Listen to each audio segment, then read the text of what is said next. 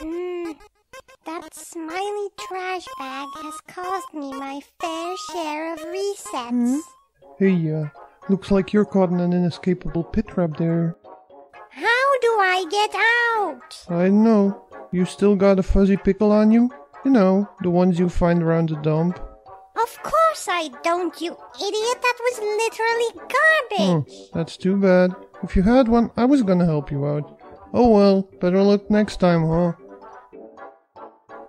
Yeah, I heard if you give the captain of the guard a box of truffle ruffles, she'll show you where all the human souls are, but I already gave her the last one in the underground about an hour ago. Guess you're too late. Some things down here don't wait for no one, you know.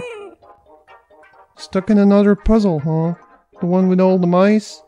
Well, did you sign and mail that mouse eviction form? The what? Here you go. You know, brother. the mouse eviction form I gave you back in You didn't give me any form. Oh, huh, must have forgot.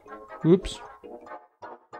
The door's shut and it won't open. It won't even let me put in the code again. You sure you put it in right? It's red, green, yellow, yellow. You said it was yellow, yellow, green, red. I did? Whoops.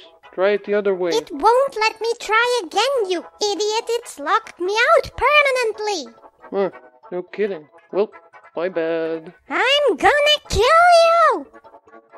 Okay, I finally made friends with everyone. I've got the heat sensitive brooch slash key and I fixed the sun device. All I need is to get that hot dog from Sans' before he leaves forever and. Oh, come on!